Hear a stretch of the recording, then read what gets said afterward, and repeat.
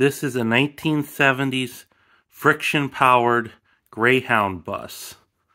I got it, I think, as a gift from someone when I grew up. I don't really remember the context of it. I just know it's, uh, you can see it had some stickers there. You can see the front of it here, the really 70s orange tint to the glass. The top is what I made me think it was a Greyhound. And I did a reverse image search and they, uh, it showed up with that. And it's a friction-powered bus. And we'll uh, see that. You can see the storage compartments there. See the back there. And we'll give it a spin here so you can hear it. Wow, listen to that thing go. Yeah, I think the friction powered is pretty much uh, that engine shot. But it's a big old bus.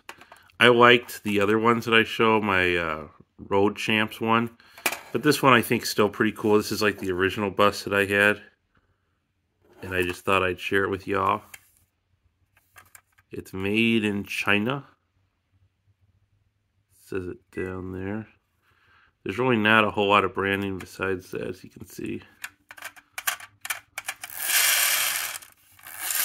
Front wheel's powered. It's not a rear wheel powered one. So that's interesting. A lot of times it's the back wheels that are powered, but you can see here, these are the ones. Anyhow, hope you all like, subscribe, and enjoy. And uh, have a great day.